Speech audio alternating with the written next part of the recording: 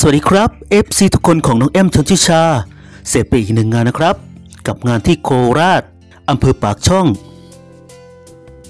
ภาพบรรยากาศวันนี้ FC มาให้กำลังใจเยอะมากทีเดียวนะครับ รวมถึงพ่อพ่อแม่แม่พี่น้อง ลุงป้านาอา ที่อยู่ทางบ้านทุกคนขอขอบคุณมากเลยนะครับ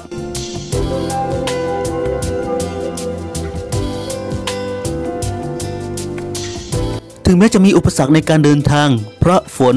FC ทุกคนของน้องแอมดูแลสุขภาพด้วยนะครับ และเดินทางปลอดภัยทุกเส้นทาง แต่ก็ชื่นใจ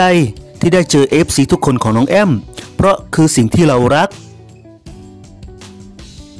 เสร็จแล้วนะคะงานที่โคราชมืออื่นอยู่ดอนเด้อค่ะ ผู้ใดไกล้กันก็มาจอบมายำกันเลยเด้อมวนแห้งค่ะมือนี้สุดยอดเลย และคิวงานต่อไปที่น้องแอมจะไปแสดงก็คือ ที่วัดจินดา ราชบำรุงอำเภอ กุมภาวาปี จังหวัดอุดรธานีนะครับ ในเวลา 22นาฬิกาถึง 23นาฬิกานะครับ FC ของน้องแอมชนทิชา อย่าลืมมาเป็นแรงเชียร์แรงใจ